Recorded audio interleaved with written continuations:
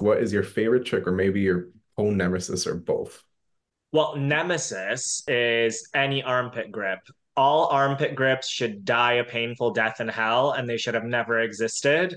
And I'm just not here for it. I don't feel sorry for armpit grips. I just don't feel like they deserve to exist and I hate them with a passion and I will never do them ever and I that will never I don't like them um, I'm very armpit phobic I guess in terms of pole moves.